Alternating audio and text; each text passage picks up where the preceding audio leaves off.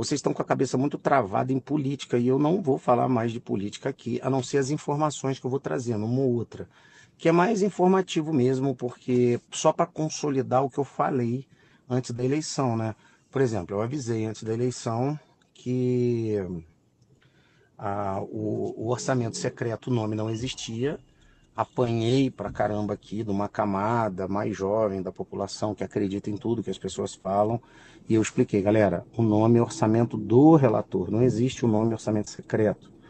Para tanto que a prova que eu estava certo, eu postei lá a Folha de São Paulo e a UOL, Globo, e todo mundo já não chama mais de orçamento secreto e agora chamam de orçamento do relator. A Folha de São Paulo ontem foi um pouco além, colocou um adjetivo agora, adjetivo, colocou orçamento legal do relator. Então agora não existe mais orçamento secreto, que nunca existiu, agora voltou a ser é, orçamento do relator e a gente provou que era só uma narrativa para ir contra o Bolsonaro na época. Tudo bem, Bolsonaro já perdeu, aceitou lá, segundo o STF, a eleição. Dia primeiro a gente tem o Lula, a gente está passando aí na transição, tudo normal, tá baixando os ânimos. Algumas notícias não são boas, assim, a gente fica chateado de ouvir, mas a maioria é fake news. Por exemplo, eles foram já na TV, já falaram que nem todas as promessas de campanha vão ser cumpridas e eles estão tentando fazer um furo emergencial no teto de 172 bilhões no orçamento, ou seja, o orçamento do Bolsonaro era um orçamento, ele ia seguir com esse orçamento durante o ano inteiro, eles estão furando esse orçamento em 172 bi, é dinheiro que não acaba mais. Eles não avisaram aonde vai vir a fonte de receitas, vão cobrar mais imposto, da onde vai vir. A gente não sabe, mas vamos esperar, porque o governo foi eleito democraticamente, foi eleito por, vocês, por, por mim, por vocês. Eu fui lá, votei num candidato, mas agora não interessa mais o candidato que ganhou, o candidato de todos, e vamos para frente. Acerca do concurso público.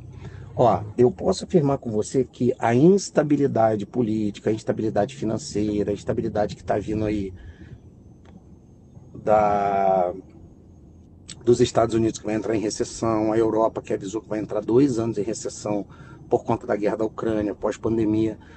É, eu tenho uma empresa que vende preparatório para concursos públicos no Brasil, que é o Alfacom. Mas antes de eu abrir a empresa, eu sou fruto do produto. Ou seja, eu passei em 12 concursos públicos e não foi ser empresário que mudou minha vida. Foi mudou minha vida foi ser servidor público federal. Estadual ganha menos, é, é, é municipal ganha menos, estadual ganha um pouco mais, mas tem o problema das vezes os municípios, os, municípios, os, os estados não terem a quantidade de dinheiro para suportar aquela aquela aquela quantidade de servidor, acaba dando um problema ou outro, mas ainda é uma ótima opção mas o Serviço Público Federal hoje é a maior garantia que qualquer um de vocês pode ter, tá? Então é assim, o servidor público federal não fica pobre, não fica rico, mas ele fica muito acima do que tange a classe média. Tem uns estudos, tem vários estudos de vários lugares, né? Mas o mais aceitável aí diz que a família globalmente que ganha mais de 3 mil reais e tem poder de endividamento é considerada classe média.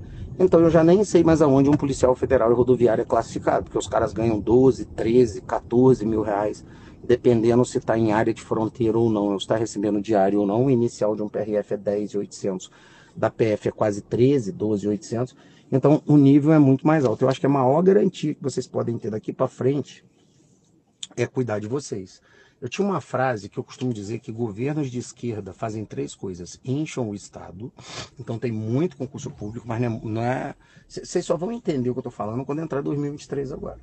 Tanto que eu digo: esteja preparado para nova onda gigantesca de reabastecimento e reaparelhamento do Estado. Porque a, a gente ficou desde 2017 sem ter aumento para o servidor público federal, por conta da austeridade que a gente estava passando, pandemia, guerra e momento mundo. A gente teve uma diminuição nos concursos públicos federais, mas nos últimos quatro anos do governo Bolsonaro ainda assim teve concurso pra caralho. Só que não concurso na, na mesma medida que existe nos governos de esquerda. Então eu acho que vai dobrar, triplicar e pode chegar a quadriplicar. Para tanto, já tiraram a avaliação dos concursos que estava dentro do Ministério da Economia e vão voltar para a Casa Civil, para dentro do famoso MPOG ou Ministério do planejamento que é onde analisa e com mais facilidade dá abertura para novos concursos públicos. Um grande exemplo é o INSS, que tem 32 mil cargos e 17 mil ativos. Então a gente tem uma média de metade dos cargos tão vagos e fizeram um concurso para só mil vagas. Aí, Evandro, você acha bom ou acha ruim? Mano, eu não tenho que achar mais nada, sabe? Eu dei a minha opinião para vocês. Eu acho que Estado inchado demais, a economia sofre. Se a economia sofre, no final das contas, a União acaba não tendo a quantidade de dinheiro que tem que repassar para os estados e municípios. Mas como é, eu fiz a minha parte, que é explicar o que, que ia acontecer, e a maioria escolheu o governo de esquerda, agora a gente dança de acordo com a música. Né? O povo está certíssimo, os 58 milhões de pessoas que votaram no Bolsonaro estão fazendo os, os, os, os, as manifestações. Eu estou muito chateado aí com a galera que é influencer, tem muitos caras que são intelectuais, são inteligentes, dizendo que a manifestação é ato antidemocrático. Não é, está no artigo 5 da Constituição Federal de 1988. É tão protegida que está junto ao direito de manifestação, direito de livre expressão, de, o direito de ir e vir. Obviamente, um direito não pode influenciar o outro. Nas manifestações, houve exagero que foi dos caminhoneiros que estavam in, é, é, é interrompendo as vias desabastecimento. Isso tem que ser, obviamente, é, é, é, reprimido e não pode ter, não pode tampar as vias. Me atrapalha até eu. Ah, mas eu quero me manifestar. Pô, faz igual a população fez, pô, vai pra rua. Aqui em Cascavel, no feriado, mano, eu nunca, ó, eu nunca tinha visto. E olha que eu acompanhei. Em 1992, eu estava aí na rua. Não, eu não pintei a cara, mas eu estava na rua nas manifestações do, do impeachment do Collor, né? Eu tinha 18 anos é, 16 anos. Então eu tava na rua, porque era frevo, todo mundo ia pra rua, eu fui pra rua. Não entendia muito bem, não, sabe? Amarrei uma bandeira do Brasil no pescoço. Tava lá. Então eu via as manifestações. Eu via as manifestações também é, do impeachment da Dilma, mas eu nunca tinha visto a quantidade de gente que eu vi nas manifestações agora a favor da direita. Nunca tinha visto. É gente pra caralho. É porque o consórcio de mídia, a Globo, essas, essas mídias mais tradicionais, elas não querem mostrar, né?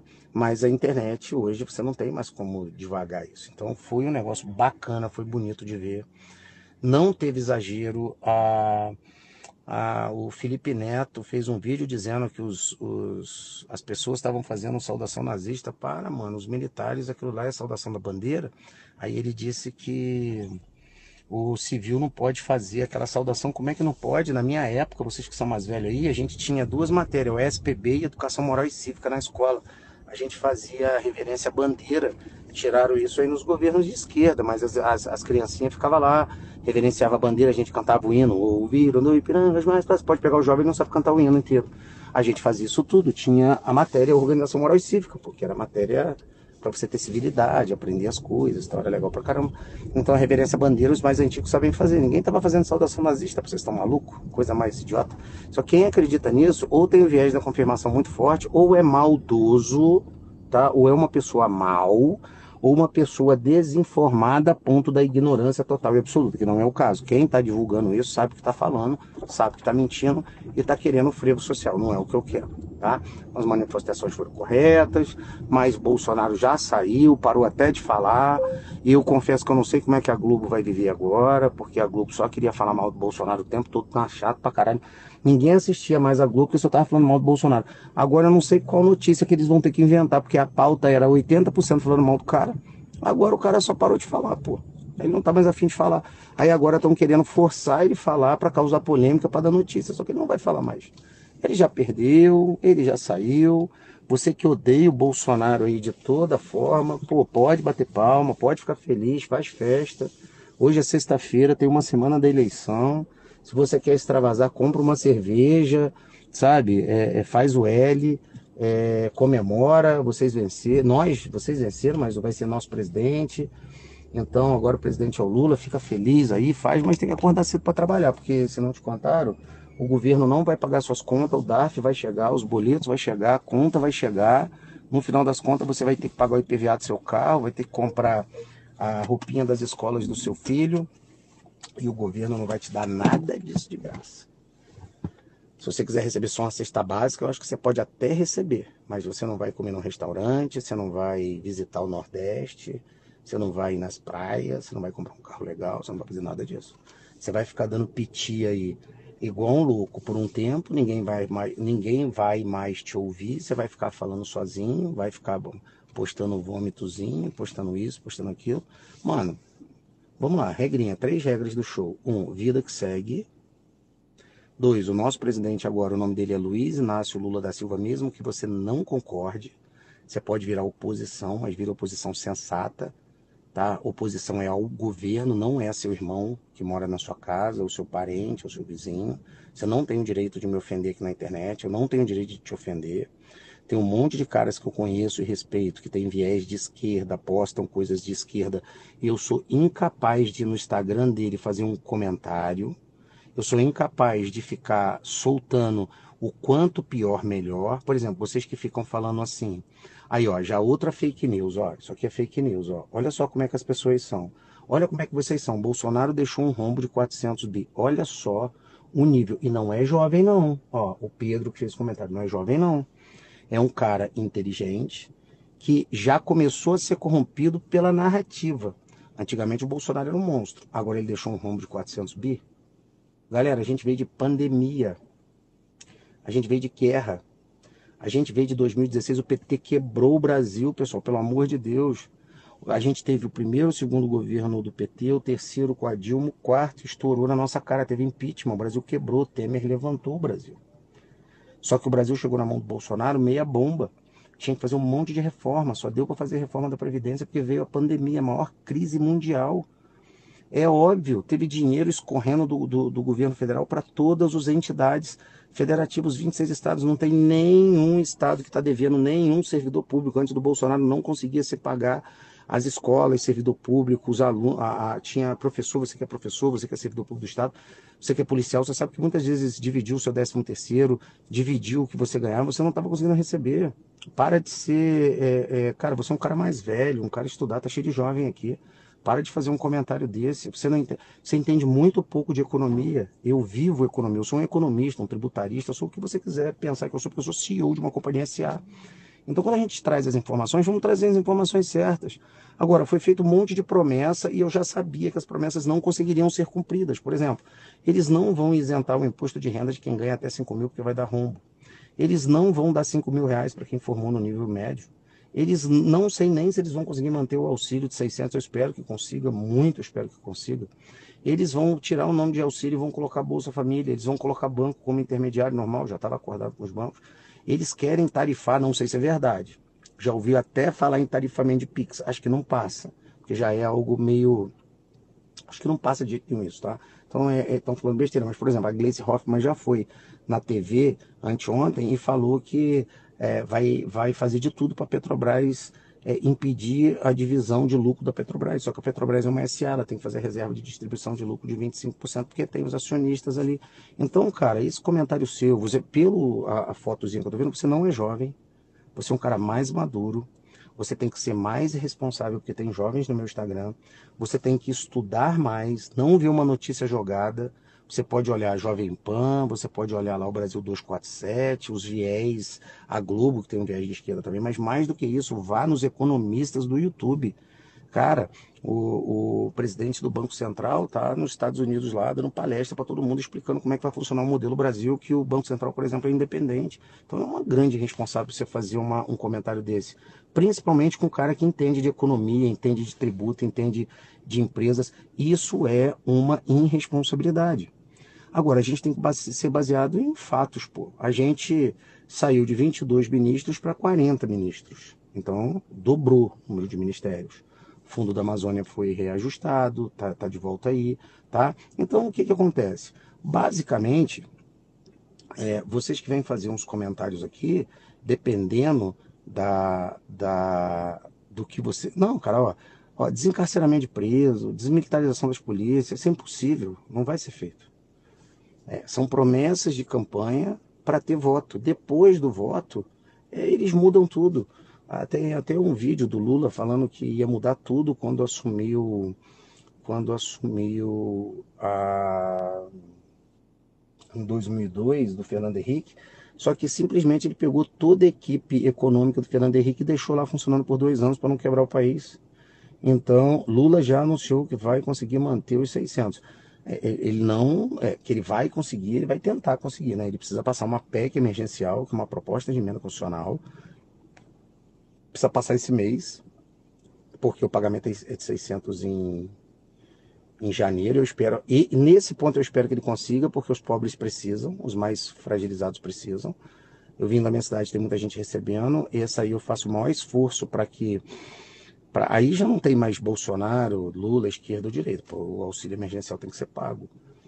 E tomara que essa PEC, nesse ponto, ela passa. O ruim é que vai passar essa PEC com mais um monte de coisa. Então vai dar um estouro de gasto público de um milhão, não, de 172 bilhões. Só que não são impostos, não, não é um não é um estouro que vai acontecer um ano só. Vai virar contas fixas. E quem vai pagar essa conta somos nós, galera. A gente que paga imposto. Então é assim, daqui para frente, a gente tem que acreditar que vai dar certo. É o ponto um. Você não pode brigar com seu colega que está do lado, nem fazer comentários dessa. Ó, eu estou doutrinando vocês no meu Instagram para você não chegar aqui e fazer um comentário idiota, porque eu acabo marcando você e você acaba sendo o bobo da história para um monte de gente. Isso é muito ruim, cara. E o terceiro, vamos lá, que é o ponto mais importante. Me diz aqui, vocês estão muito preocupados como vai a economia do Brasil, beleza? Vocês estão preocupados em dizer que o Bolsonaro é fascista, é genocida, que o Lula mentiu, que o Lula é ladrão. E isso vocês estão preocupados em fazer. A grande pergunta é: o que, que você fez para melhorar a sua vida? Porque o governo não vai chegar e não vai te dar um emprego de graça, não vai depositar na sua conta 10 mil reais, você não vai comprar um carro legal, uma casa legal, fazer uma viagem legal só com auxílio emergencial. Você não vai fazer isso. O que, que você tem que fazer? Você não pode terceirizar a culpa, voltar a culpa no governo porque a gente não vence por conta de governos, mas apesar dos governos a gente vence. Então, eu posso ensinar vocês a minha história. Eu também é, tive o fundamental ruim, o médio ruim, e eu sempre soube que nada caía do céu. Então, o que, que eu fiz?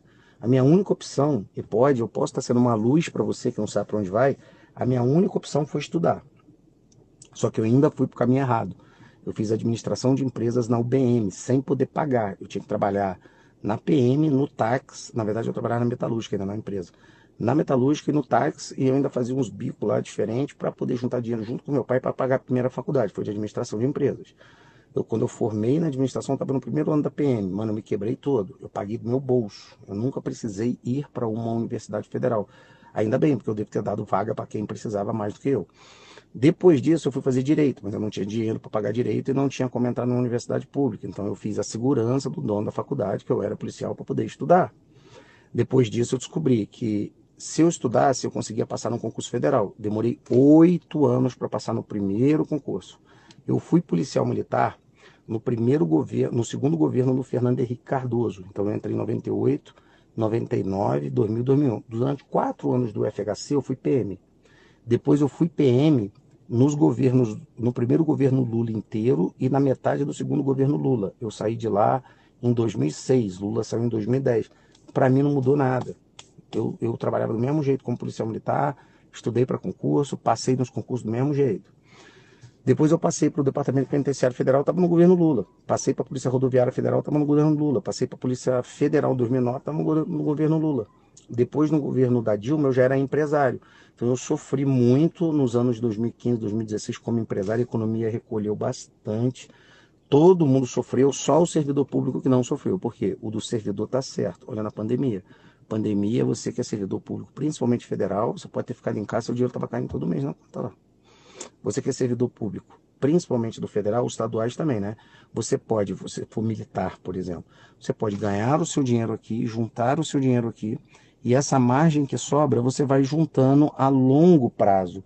Você junta 5, 10, 15, 20 anos, você vai ter uma chamada renda passiva. Aí tem caras que explicam isso até melhor do que eu. Por exemplo, vou te indicar dois canais para você ir. O Jovem Nerds, que é muito legal. Não, desculpa, Jovens de Negócio. O menino é muito bacana, explica muito legal. E o Tiago Negro, que são os jovens de negócio cria do Tiago Negro lá eles vão te explicar como é que você junta dinheiro a longo prazo. Eu tenho uma forma só minha de juntar dinheiro, né? Se eu ganhar 10, eu gasto 5 com as minhas contas do mês, normal, as contas normais, eu gasto só metade. 20% eu deixo para financiamento, se eu tiver que financiar um carro, alguma coisa. E 30% do que sobra eu faço para projetos, eu faço para negócios, eu deixo para investir, para eu pego 10% e junto a longo prazo. Então eu junto dinheiro desde 2006, desse desafio dos 21 dias, que eu vou começar dia 21 aqui, eu vou abrir grande parte das minhas contas e vou mostrar para vocês. Ah, vazou muita coisa da internet minha, né? A galera aprendeu a colocar lá quanto que o Evandro tem dinheiro, a fortuna do Evandro Guedes, aí a galera começou a vazar alguns investimentos meus, então tá aberto, então não tem problema de abrir também não. E eu junto dinheiro há muito tempo. Aconteceu algumas oportunidades na minha vida que eu não teria se eu não tivesse estudando aquilo no momento correto. Ou seja, eu era servidor público, eu estava começando a juntar dinheiro, que eu comecei a juntar em 2006, todos os meses eu juntava 10% que eu ganhava. Não, já, na verdade eu juntava um pouquinho mais, porque eu ganhava 5 e pouco no Departamento Penitenciário Federal, líquido 5 e 200. Até mostrei para vocês, né, em 2006. Então, o mês que eu juntava menos, eu juntava uns 700 reais. Mas teve mês de eu juntar 1.280, 1.300, porque eu ia fazendo a conta do mês, né, eu ia economizando quando chegava no final do mês. Um dia antes de eu receber, o que sobrava eu investia. Sempre fiz assim, sempre fui muito controlado. E apareceu a oportunidade de eu comprar alguns bitcoins em 2012 a 24 dólares, depois eu comprei a 40 dólares. E nunca mais mexi nisso. A única vez que eu fui mexer nos bitcoins que eu tenho foi no metade, em junho do ano passado, que eu troquei por umas ações da Bembev, que ela estava fazendo uma negociação de troca de ações. Então, ela estava tentando apostar em cripto na época, né? Eu apostei em cripto. E aí o que, que eu faço? A minha proposta para vocês é, independente de vocês estarem com raiva do PT, com raiva do Bolsonaro, com raiva da política, triste, frustrado, vocês vão ter que resolver a vida de vocês, cara. E o que, que eu peço? É, vamos parar de olhar na internet, eu faço uma proposta, não sai daí não, você que está aí. 1.200 pessoas conectadas agora meio-dia, uma hora da tarde sem eu ter avisado que eu ia entrar. A proposta é a seguinte, me acompanha no desafio dos 21 dias, qualquer Instagram que você entrar que tiver em convulsão social, ou seja, falando muito mal do Bolsonaro, xingando Lula, criando teoria das conspirações, corre. A gente não vai ter golpe militar. Não vão usar o artigo 142, até porque ele nem foi feito para isso. Não vai ter intervenção federal, porque ela não foi feita para isso. O sistema democrático vai se manter. Lula vai assumir dia 1 de dezembro e não tem o que vocês possam fazer com isso. As manifestações são legítimas e continua fazendo, porque toda vez que você faz a manifestação legítima, você fortalece os nossos deputados e senadores que estão brigando por coisas erradas que vêm pela frente. Porque é impossível você botar um leão que está acostumado a comer carne, no meio de um monte de ovelha e ele não morder e comer uma ovelha. Então, grande parte do governo que está assumindo agora, é só você olhar lá, são pessoas que já foram condenadas por corrupção. Só que agora acabou a moleza, porque tem muitos deputados e senadores que não existiam antes, com apoio popular que não existia antes, vigiando o que vão fazer daqui para frente. Essa é a parte mais importante. As teorias das conspirações eu não quero mais ouvir. A galera tá falando Bolsonaro vai para cadeia. Não vai, galera. Ninguém vai criar uma convulsão social dessa. Se tentarem prender o Bolsonaro, o povo vai para rua, tranca. Se ficar nove dias os caminhoneiros trancando a rodovia, para o Brasil quebra a economia. 15 dias quebra o Nordeste inteiro. 20 dias você começa a quebrar o Sul, você quebra tudo, você dá um, um colapso que vai prejudicar todo mundo. Todo mundo. Evandro, pode acontecer alguma coisa ruim com o presidente? Pode, eles podem decretar lá oito anos de inexigibilidade do presidente da República. O que, vai acontecer? Bolsonaro vai ficar nos bastidores, vai comandar o que, ele, o, que o, o Lula é bom de ter ficado 30 anos como no Poder Executivo, e isso o Lula é bom, vocês não vão conseguir enfiar o um impeachment nele de jeito nenhum, porque ele não vai cometer crime de responsabilidade. São 30 anos de experiência do, do, do, do ex-presidente, agora presidente Luiz Inácio Lula da Silva. Mas ele vivenciou o impeachment da Dilma. Mais malandro que esse cara não existe no executivo. Só que vocês esquecem, e vocês que não gostam do Bolsonaro, vocês estão subestimando a arte da guerra Santos-Sul. Se você odeia o Bolsonaro e você é de esquerda, eu posso até te ajudar. Não subestime o seu inimigo, assim como eu não subestimo a esquerda. Ou seja, o Bolsonaro tem 26 anos de Câmara uh, dos Deputados. Ele conhece a Câmara como ninguém, como poucos ali. Ele conhece o Senado também. Então o que, que ele vai fazer? Ele vai ficar fazendo a base estrutural da Câmara e do Senado por trás dos bastidores como um cacique político. Ele não precisa se eleger para mais nada, não. E o que, que ele vai fazer? Ele vai coordenar o que passa, o que não passa, junto com os caras lá, vai ser uma resistência danada, e não vai ser fácil o governo do, do novo presidente Luiz Inácio Lula da Silva nos próximos quatro anos. Mas, galera, não é porque a gente não gosta dos, do, do piloto, né? não é porque a gente não gosta do, do Lula não gosta do Bolsonaro que a gente quer que o avião caia. Nossa, nesses últimos quatro anos que eu mais vi foi que o pessoal que não gosta do Bolsonaro querendo que o Brasil afunde, só que você esquece que você está dentro do navio, você quer afundar junto, cara, você parece doido, a gente quer um país melhor. Outra, o Lula, cara, tem 76 anos, 77, o Bolsonaro também, eles vão morrer e nós vamos ficar. As pessoas vão passar, ó, não vão conseguir mexer nas Forças Armadas, é um vespeiro que ninguém mexe. É coisa do José de Seu, cara, José de Seu é muito doido. O, o José de Seu, cara, ele tava, ele era aqueles guerrilheiros da época de 1974, 74, 75, ele brigou lá com o exército, dava tiro, participou da guerra da Araguaia, ele, José Genuíno. Esses caras são bitolados, é só você olhar o filho dele que é deputado, aquele Gadelha, esses dias estava vestido, um deputado vestido de Power Ranger rosa. Esses caras que estão fora da casinha. O mais malandro de todos ali é o Lula, porque o Lula sabe que esses caras estão do lado, o Lula sabe que precisa desses caras, mas também não confia nesses caras não. Outra coisa, essa guerra entre Lula e Bolsonaro está parecendo Segunda Guerra Mundial o Brasil inteiro, e vocês que são de esquerda me ouçam, porque eu não sou seu inimigo, sou seu amigo, esse pessoal tinha um inimigo em comum, que era o Bolsonaro. Você lembra quando se juntou Estados Unidos e Rússia para combater o eixo do mal e combater principalmente a Alemanha, que era o inimigo público número um do mundo? A Alemanha foi derrotada. O segundo passo foi os aliados, Estados Unidos e Rússia, brigar entre si. Criou a Guerra Fria, separaram a Alemanha, meteram o muro de Berlim e até hoje são inimigos. Então o que acontece? Essa galera que se juntou aí, que é ninguém solta a mão de ninguém, já no governo mandado, na hora que o, que o Bolsonaro for para trás ficar quietinho ali, o que vai acontecer, mano, é que a cacetada vai comer e a cobra vai fumar entre eles. E essa é a realidade. A gente não vai virar uma Argentina, a gente não vai virar uma Venezuela, a gente não vai virar uma Cuba. O Brasil não vai sustentar a Venezuela, não vai sustentar a Argentina, não vai sustentar Cuba, porque nesse momento que o Lula está assumindo agora, não é 2002 e 2006 que tinha um volume de dinheiro muito grande entrando da China e da Índia. A China tem 1,4 milhões de habitantes. A Índia, 1,380 bilhões de habitantes, desculpa, bilhões. Então, eles juntos têm quase 3 bilhões de habitantes, de 7 bilhões de habitantes. E quase metade do planeta, no ano de 2002, estava comprando feito um louco. Soja, milho, aço, estava comprando coisas pra caramba vindo do Brasil. E tinha um boom naquela época. Logo depois veio o pré-sal, então veio muita especulação, então entrou muito dinheiro ali, muito dinheiro no Brasil. Só que agora eles estão assumindo um país com austeridade, eles já estão entrando quebrando o teto de gastos. Essas coisas eu estou tentando falar de uma forma mais simples e explicar para você que o Brasil é super próspero, sabe? Vocês estão fazendo um comentário aqui, vocês. Ó, por que, você, por que não votou em Lula então? Essa aqui é boa. Ué, eu não votei no Lula porque eu não concordo com nada que o Lula está fazendo. Eu não concordo com quebra de, de teto de gastos. É, eu não concordo em desmilitarizar, é, em, em, em, tirar o armamento civil do cidadão, não concordo com aborto, eu não concordo com ideologia de gênero, é, eu não concordo com, com, fraude, eu não concordo com, com corrupção, eu não concordo em dizer, igual a Gleice Hoffmann disse agora, que, que não vai.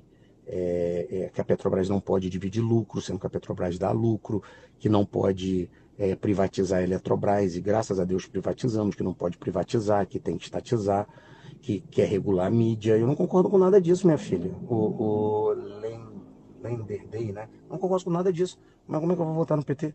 Agora, porque eu não voto no PT e não concordo com esses monte de pauta, eu vou fazer o quê? Eu vou, eu que já tô com a vida, ideologia de gênero existe. O que, que é? É querer banheiro unissex para criança de 7 anos, é, é, a, o meu filho estuda na melhor escola aqui de Cascavel, no Paraná. Não vou falar o nome da escola por motivos óbvios. E um policial federal que é do COT, que o filho dele estuda lá também, que ele, ele é do COT, mas ele saiu do COT daqui. ele identificou no meio do sistema de ensino particular uma parte que fala sobre exatamente ideologia de gênero. A gente teve que parar a escola lá e a gente reivindicou frente ao sistema de ensino que é particular. E a gente resolveu. Então tem sim, tá? Só que tá velado. Só que a ideologia de gênero, ela tá errada no Brasil. Por que ela tá errada? Porque tá jogando um contra o outro, pô. E, e criança, a pergunta é, meu filho, se uma criança de 7 anos pegar uma arma e dar um tiro na cabeça de outra criança de 7 anos, você vai condenar ela a, a 20 anos de cadeia? Você vai responder não. Então por que você tem que ensinar sexo para uma criança de 7 anos? Meu filho não está preparado para ouvir sexo. Meu filho, ele é, eu tenho todo o controle parental, que é o controle que você tem no celular e no tablet, no computador, para ele. Quando ele joga online, a gente conversa com a sala do jogo que os pais entram para saber com quem que ele está jogando e a faixa etária de idade. Não, ele não assiste, o meu filho não assiste o Felipe Neto, porque eu expliquei para ele quem é o Felipe Neto, o que que o Felipe Neto faz e o que que acontece. Então existe sim a ideologia de gênero, não é fake news. Você sabe, você está dizendo, eu não sei, eu tenho certeza que existe. Agora, de outro lado, a gente também tem que olhar para a comunidade LGBT, a gente não pode deixar eles à parte. Os gays não podem ser criminalizados por ser gays. Na minha empresa tem um monte de pessoas que são gays trabalhando, tanto homens quanto mulheres. E qual é o problema? Eles são são competentes, muitos deles são meus amigos. Qual é o problema? Mas eles são adultos, então eles podem escolher a, a identidade de gêneros que eles se identificam, mas são adultos, pô, não com crianças. Você pode perguntar para a comunidade LGBT, para os próprios gays, os trans, as, as pessoas que são as lésbicas, até mesmo o grupo feminista, pergunta para eles se eles querem que o filho dele de 5 anos esteja ouvindo um assunto sobre sexo. Não quer. Então, não manda essa, tá? Isso aí parece até piada que você está falando com um cara educado como eu e um cara que não vai te responder mal, mas vai é, colocar isso aí, tá? Alguém perguntou aqui, poderia explicar por gentileza sobre Felipe Neto? Essa eu não sei. Tá, o que acontece? Eu vou dar orientação, é minha orientação, tá? Poderia me explicar, por gentileza, sobre o Felipe Neto? Eu não sei e meus filhos gostam dele, preciso aprender. O Freire, né? Acho que é uma mocinha. Olha só, eu tô dando uma instrução de caráter como pai, tá? Eu não tenho nada contra a pessoa do Felipe Neto. Só que o que, que ele faz? Ele é um garoto que está espalhando ódio no Brasil inteiro. Ele conta uma quantidade de mentira porra, muito acima do normal, né? É, ele faz muita maldade de jogar um contra o outro e ele faz é, é, conteúdo adulto que as crianças estão consumindo. Você pode ver que se o seu filho consumir, seu filho vai vir com palavras de baixo calão, seu filho vai começar a falar coisas que não deveria falar na idade dele, e ele é uma péssima influência para crianças. Agora, se o cara tem 18 anos, 16 anos, né? Que é relativamente capaz para a vida civil, dos 16 aos 18 seu filho já tem uma capacidade intelecto-volitiva de entender e quer assistir o Felipe Neto, deixa, pô. Agora não pode, criança, você que é mãe responsável, deixar o seu filho assistir o Felipe Neto falando essa quantidade. É, é, para você entender, é só você entrar no Instagram do Felipe Neto e acompanhar ele por um dia. Você acompanha ele no Twitter. Você acompanha ele no, nos vídeos que ele faz no Minecraft, lá, aquelas coisas que ele faz do meio do vídeo, não no começo, porque no começo ele disfarça, mas no meio do vídeo assista a quantidade de atrocidade que esse rapaz faz. E assim, se ele só tinha que ele não pode ser censurado nunca, né? Ninguém pode tirar o canal dele, não é isso. É o canal dele, ele faz o que ele quiser. Só que não é canal para criança, tanto que dentro do é, dentro do, do YouTube você vai lá e você pode dizer se o seu conteúdo é classificado para criança ou não. E ele classifica o conteúdo dele para criança. E não é, ele é um cara ruim. É o único cara, um dos poucos caras que eu venho aqui, falo que faz as coisas de maldade, tá? Então, Fora isso, fora essas orientações, qual é a orientação final que eu te dou?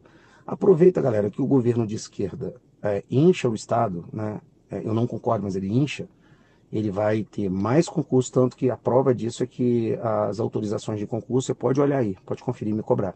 Vai sair de dentro do Ministério da Economia e vai, isso aqui eu vou responder também, e vai para dentro do MPOG. Então você vai ver cada vez mais é, concursos públicos sendo liberados, tá? Então aproveita a oportunidade. Tio, o senhor acha que o Nordeste tem culpa? Eu não. Mano, eu amo o povo nordestino.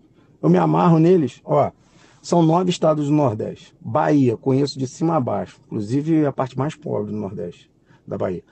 Ceará, tô sempre no Ceará. Eu amo Fortaleza. Tenho um monte de amigo lá. Pernambuco. Sergipe.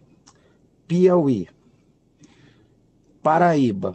Maranhão, Rio Grande do Norte e Alagoas.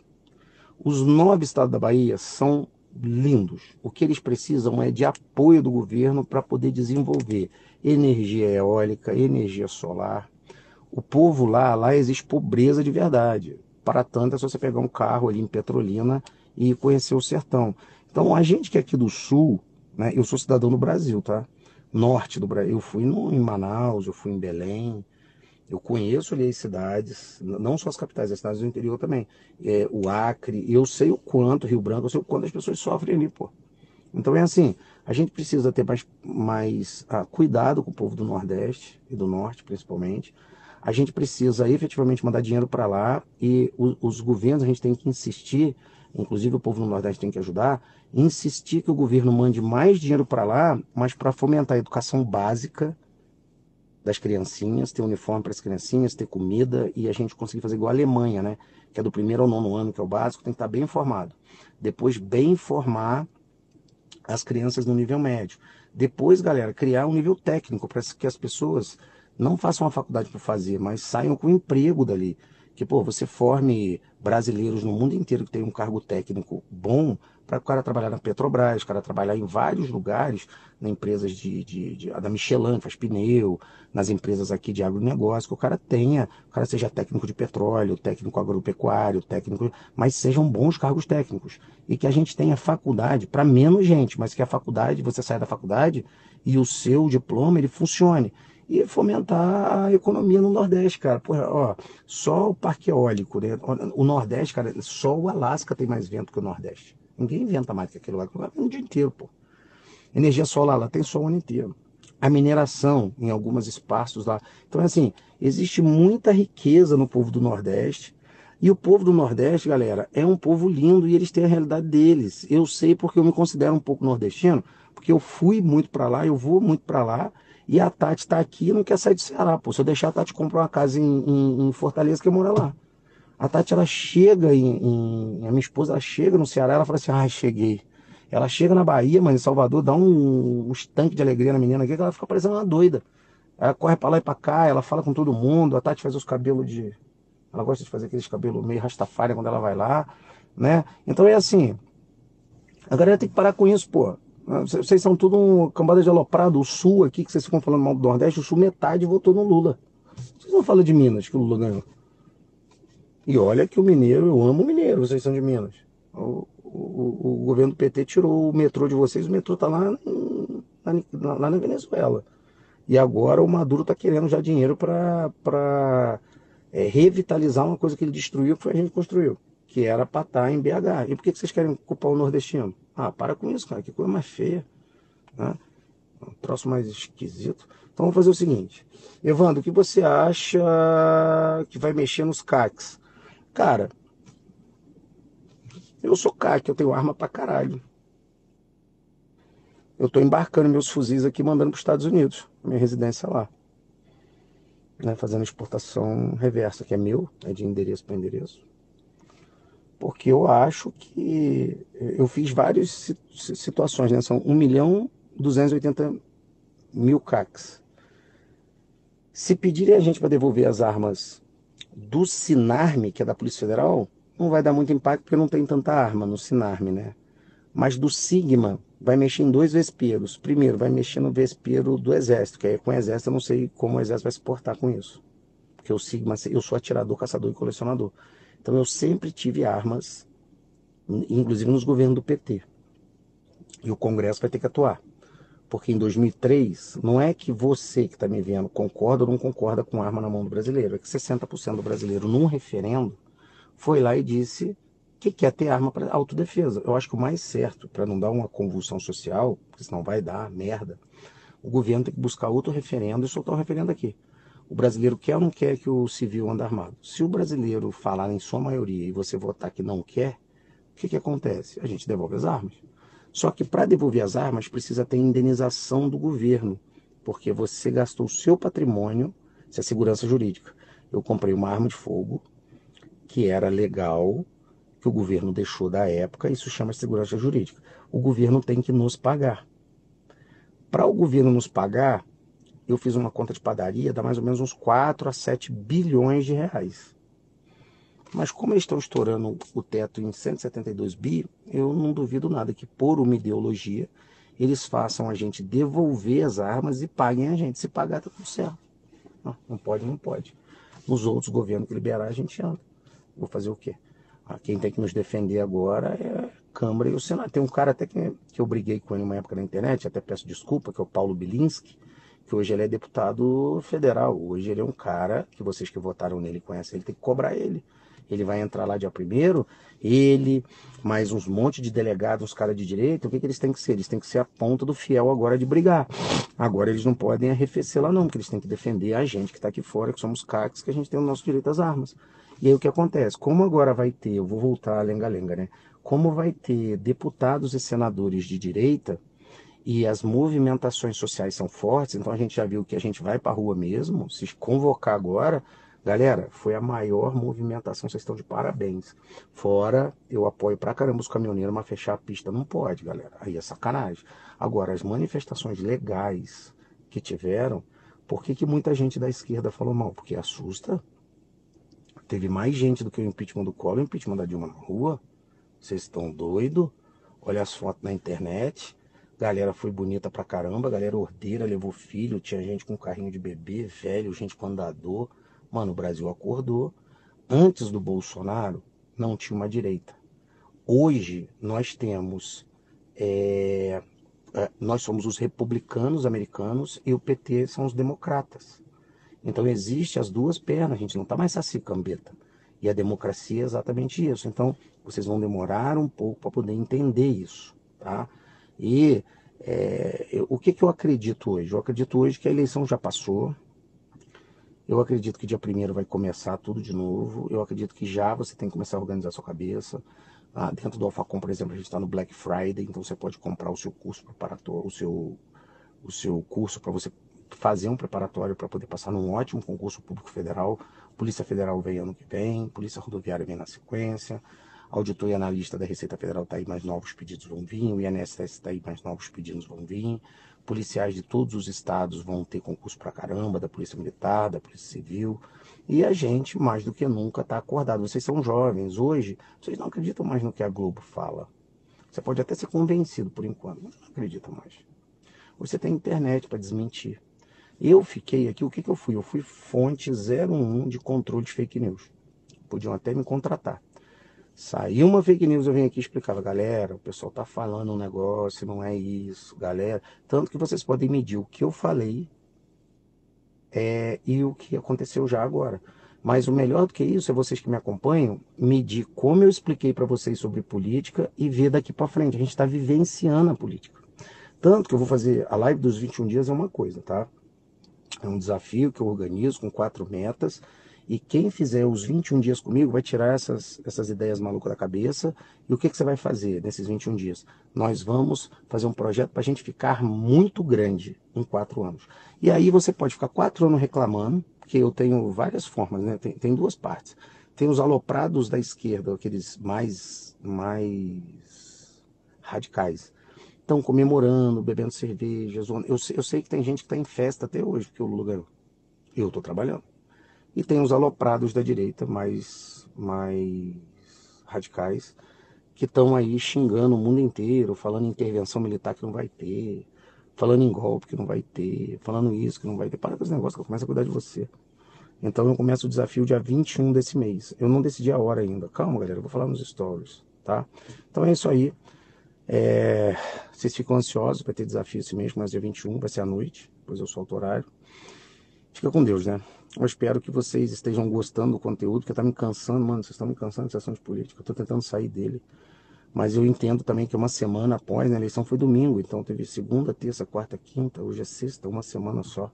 Vai diminuindo, e aí eu vou trazendo vocês de volta para vocês lembrarem que a gente vence não por conta do governo, mas apesar de governos, tá? Apesar de eu estar tá hiper cansado nessa sexta, apesar de eu estar tá falando a mesma coisa, tá parecendo um disco quebrado, apesar de eu falar que você é que vai fazer a diferença, é você que muda a sua vida, é, não, o governo não vai te dar um cargo ao meu, ó, aquela parte que todo mundo me odeia agora, essa parte todo mundo me odeia. Porque todo mundo odeia um pobre que venceu na vida, eu não sei por que isso, cara. O ranço danado. Você acha que o governo vai comprar lá 50 milhões de, de BMWs lá e dá para eu, eu, eu sou fã da marca. Agora eu parei de, de me ficar bravo. Eu sou fã, eu gosto da marca, não troco o carro, eu só compro zero, um monte. Caralho, caiu a chave. Subiu trocando. Tá aqui. Ó, essa aqui é aquela M, X3M. A Tati tem uma X5M. Você acha que o governo vai te dar um carro novo? E vai dizer também que você não quer um carro legal. Você acha que o governo vai te dar uma casa legal? Ou você prefere invadir uma casa velha de alguém e ter a sua reforma feita agrária numa casa velha que não tem luz telefone? Ou você prefere vencer por você? Você quer ganhar 600 reais de auxílio ou você quer ganhar 15, 20 mil reais que você conquistou para dar boas escolas para o seu filho, comprar um bom carro para você, cuidar bem da sua esposa, cuidar bem da sua casa, fazer viagem posterior? Você quer ficar aqui falando mal do Lula, falando mal do PT, falando mal do Bolsonaro, falando, chamando de fascista, chamando de genocida, sexista, tenista, saxofonista, ou você quer comprar uma passagem e ir para Disney, ver o Mickey, você quer ir para para Inglaterra, você quer pegar o Eurotrem, conhecer a Bélgica, conhecer a Alemanha, você quer conhecer a França. O que, você quer fazer? Você quer continuar sendo medíocre? Você quer, quer continuar sendo a base da sociedade? Você quer continuar sendo merda? Você quer continuar sendo fofoqueiro? Você quer continuar sendo a base instrumental que Platão falava? Homens medíocres, bobos, inconsequentes. Eles é, é, falam de outras pessoas, ficam falando mal do Lula, do Bolsonaro. Gente inteligente fala de projeto. O próprio Lula é tão inteligente que ele foi lá e falou lá, ó, a picanha a cerveja é uma metáfora. Assim como o Bolsonaro falou que quem tomar vacina iria virar jacaré, que isso aí é uma metáfora, que o povo nem sabe o que é uma metáfora, esse negócio de comer picanha e cerveja todo final de semana é mentira, pô. Uma peça de picanha está 60 reais. Uma caixa de cerveja está 60 reais, tá 60 reais, dá 120.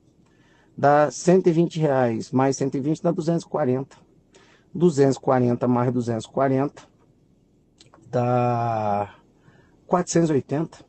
O cara ganha 600 reais de auxílio. Ele vai comer o que com o auxílio? Picanha e cerveja todo final de semana? Aí ele não come. Se, come, se botar arroz e farofa, já acabou o dinheiro. Então vai ser o, o auxílio emergencial que prometeram para você que falaram que você vai comer picanha e cerveja, vai fazer o quê? Vai, você vai comer uma vez por semana só? Para comer só a picanha só aquela cerveja? Uma picanha dá para uma pessoa, que a picanha é pequenininha assim. Dá para duas no máximo. Então foi uma metáfora que o Lula quis dizer. O Lula dizia assim: vamos melhorar a sua vida. Não dá para comer picanha e cerveja toda hora, mas de vez em quando dá. Metáfora. Tá? Então o que, que a gente tem que fazer? A gente tem que olhar para a gente. Se eu estiver errado, você pode me criticar. Se você for de outro lugar, vocês podem me criticar. Mas a única coisa que você pode, não pode fazer, você não pode chegar e dizer que eu não te avisei que você tem que mudar a tua vida. Dia 21 de, desse mês tem o começo da, do desafio. Dia 21 também de janeiro eu vou estar na supervisão de véspera da Polícia Militar da Bahia, aí na Bahia, na, no Hotel Fiesta. Então você compra o seu ingresso, tá? Para estar tá lá comigo, para conquistar. A, a Polícia Militar é um bom salário, não ganha tão bem quanto a Polícia Federal, mas você consegue manter a sua vida, consegue manter as suas coisas. Ah, cara, e eu acho que fica me seguindo se você gostar de me seguir. Eu tenho meu jeitão, tô melhorando pra caramba. Peço um montão de desculpas se eu ofendi vocês, se em algum momento eu fiquei um pouco mais é, é, é, é empolgado, apaixonado com o que eu tava falando. Muito, vocês me cansaram pra caramba nesse momento de, de eleição. Eu peguei 367 pessoas no direct. Muitos de vocês aí devem ter eh, conversado comigo no direct. Conversei com gente da Universidade Federal do Piauí, conversei com gente da Universidade Federal de todo o Brasil, conversei com pobre, conversei com gente de classe média, conversei com advogado, conversei com gente de esquerda, gente de direita. Não tem nome, não tem dia, não tem data. Vi os pensamentos das pessoas.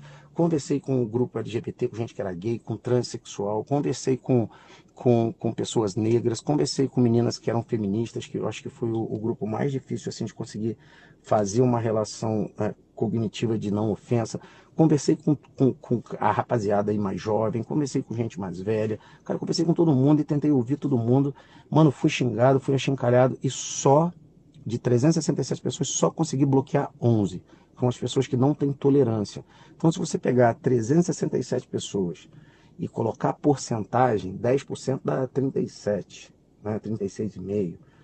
A, a 1% dá 3,5%. Então, 3% de toda a população que eu conversei dentro do meu direct, que eu gastei tempo para conversar com eles, as conversas foram longas, só 3% são intolerantes. Então, o brasileiro é tolerante.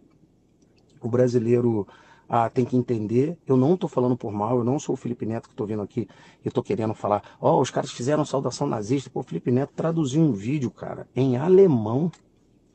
Mandou esse vídeo para o maior jornal da Alemanha para a Alemanha fazer uma nota criticando o Brasil, para uma porrada de investidor que investe é, em euro aqui na Bolsa, na Ibovespa, para tirar dinheiro da Ibovespa. Pô, o cara tá querendo fazer o quê? Tá querendo quebrar o Brasil, pô. O cara tá querendo sacanear a gente. Qual é a vantagem? Galera, Bolsonaro já perdeu a eleição, já saiu de cena, vai ficar por trás sendo mentor da galera, tá? Vai fazer um trabalho bonito, quietinho ali agora, ele tá cansado também. Ele vai fazer um trabalho de coordenar a Câmara e Senado. A gente tem bons deputados, bons senadores. Nós, a população, quando nós fomos aclamados, a gente vai para a rua para evitar coisas ruins, a gente vai fazer reuniões pacíficas, mas acima de tudo eu quero que você vença na vida. Eu quero que todos vocês aqui consigam ter o mesmo carro que eu comprei, porque eu vim, a mesma história que vocês. Eu, eu, eu quero que vocês tenham uma casa, melhor casa que vocês possam ter. Eu quero que vocês façam viagens incríveis com a sua família. Que vocês vão para Disney, tirem foto com o Mickey, com o Pateta, que vocês viajem para a Europa, que vocês tenham momentos incríveis, que você tenha aquela satisfação de entrar no supermercado e fazer igual eu, mano. Hoje é sexta-feira, hoje é dia de ir no mercado, eu vou catar, eu vou no mercado mais gourmet que tem aqui, que é o Beal. Mano, eu saio comprando coisa até que eu não sei o que, que é, mas se deu vontade de comer, eu vou lá e compro. Esses tipos de coisa a gente conquista trabalhando, não ganhando. Não dá para acreditar que um governo vai dar isso pra gente. Cara, se fosse assim, você ia na Finlândia, você ia na Noruega, que são os países menos corruptos, que mais distribuem renda, e lá ainda tem gente que, teoricamente, dado o país, está fudido. Mas por quê? Porque é o preguiçoso, o vagabundo, que não quer acordar cedo, não quer dormir tarde, não quer trabalhar. E lá tem rico, tem classe média, tem classe baixa. Não tem essa linha social que vocês estão pensando, porque o ser humano não é igual. Tem ser humano que não vai me ouvir, vai me xingar, e tem ser humano que vai me ouvir e vai para frente. Tá? O que, que a gente vai fazer? Dessa vez, Vamos olhar um pouco mais para a gente, passar os quatro anos aprendendo como funciona, já que vocês gostaram de entender o país, mas antes de mais nada, antes de salvar o mundo, salvar a Amazônia, salvar o hidrogênio verde, antes de pedir a paz mundial, antes de salvar o planeta, que Marte está caindo, a Lua desabando, o Sol explodindo, vamos vencer pessoalmente seja alguém na tua vida para você ter qualidade de vida, ser uma pessoa grande e sinceramente, cara, do caralho, você ser uma pessoa foda. Você olhar pro espelho e falar assim, eu sou foda.